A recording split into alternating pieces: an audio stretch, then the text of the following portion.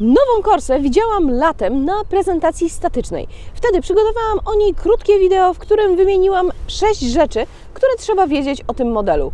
Teraz miałam szansę sprawdzić je w praktyce.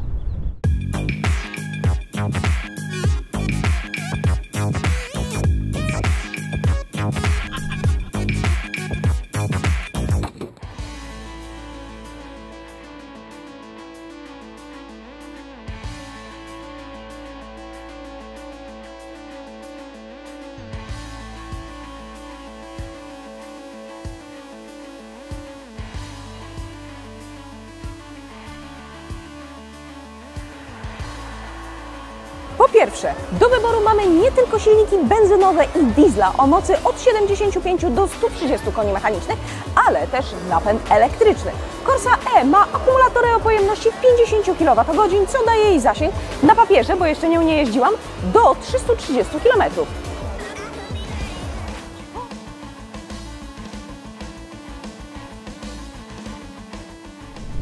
Jeszcze nie jeździłam elektryczną Corsą. To jest wariant ze stukonnym silnikiem benzynowym.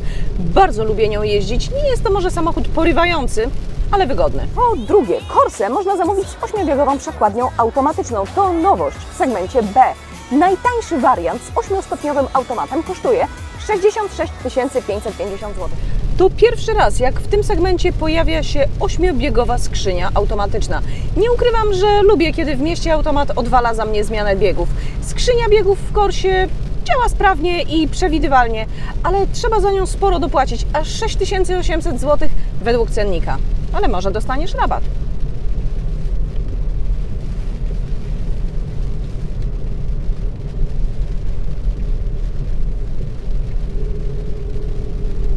Wrażenia z jazdy są ok, ale spalanie to już inna historia.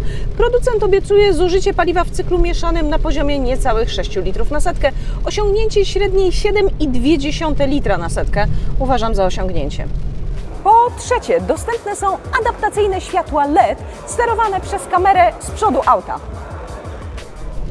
Reflektory LED są oferowane w standardzie, a adaptacyjne reflektory LED to opcja, za którą trzeba dopłacić 2600 albo 3000 zł, w zależności od wersji wyposażenia.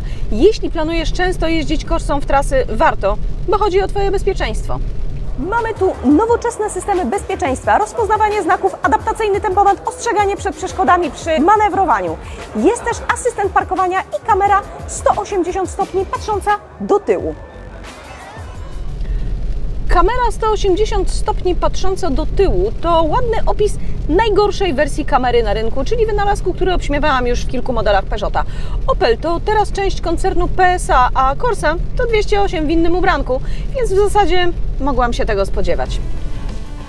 Dlaczego uważam, że taka kamera to najgorszy pomysł? Już mówię. Kamerze 360 stopni obraz od góry, który widzimy na ekranie, jest zszywany z kilku kawałków widzianych przez kamery naokoło samochodu. Jest dokładny i aktualny. W kamerze koncernu PSA w miarę cofania kolejne kawałki terenu za samochodem doklejane są po bokach. Dlaczego to niedobre? Można zorientować się, gdzie są krawężniki, ale jeśli w międzyczasie w to miejsce na parkingu ktoś postawił walizkę, to jadąc do przodu już tego nie zobaczysz, bo kamery z przodu nie ma. Zresztą obraz w ogóle szybko znika. W zależności od tego, który pakiet wybierzesz, kamera kosztuje 1700 albo 2500 zł. Moim zdaniem nie warto.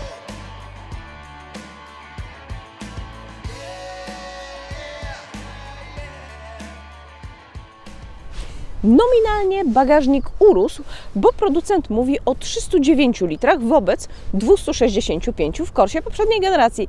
E, tak tylko, że nie.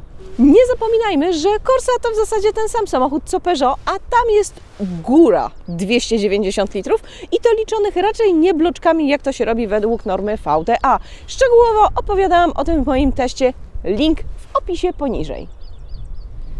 Powiedziałam przed chwilą, że Corsa jest 208 w innym ubranku, ale są pewne różnice. Widzę je szczególnie tu, w kokpicie. Pierwsza to kierownica. Peugeot wprowadził jakiś czas temu małą, spłaszczoną kierownicę i chociaż ona wygląda trochę dziwnie, to ma sens. Jak to? Zwyczajnie. Dzięki takiemu kształtowi widzę zegary w każdym ustawieniu fotela i kierownicy. W Korsie w moim ustawieniu nie widzę ich górnej części. Z kierownicą mam jeszcze drugi problem. Tutaj po prawej stronie jest przełącznik do, o no właśnie, do sterowania głośnością. Super, dobrze mieć to pod ręką. Tylko, że ponieważ przełącznik wystaje, to przy połowie manewrów zmieniam głośność. Często na przykład włączam muzykę, która przedtem była wyciszona. Można się przestraszyć, jak ci nagle ryknie radio. Zamiast trójwymiarowych zegarów z 208, tutaj są normalne zegary, jeszcze analogowe, bo to auto z zeszłorocznej produkcji.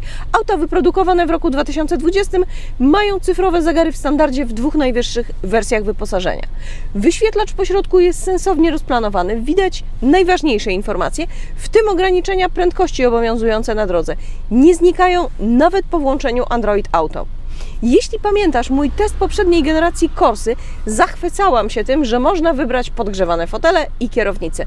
Tutaj też. I o ile podgrzewane fotele to nic wielkiego, bo można je wybrać w wielu autach z tego segmentu, to podgrzewana kierownica to rzadkość. Nie można jej wybrać na przykład w Volkswagenie Polo. Są takie samochody, o których mam ochotę powiedzieć w teście coś w rodzaju no w porządku samochód, bez większych zastrzeżeń i na tym zakończyć. Korsa taka właśnie jest. Nie oczekiwałam ani uniesień podczas jazdy, ani nowatorskich rozwiązań.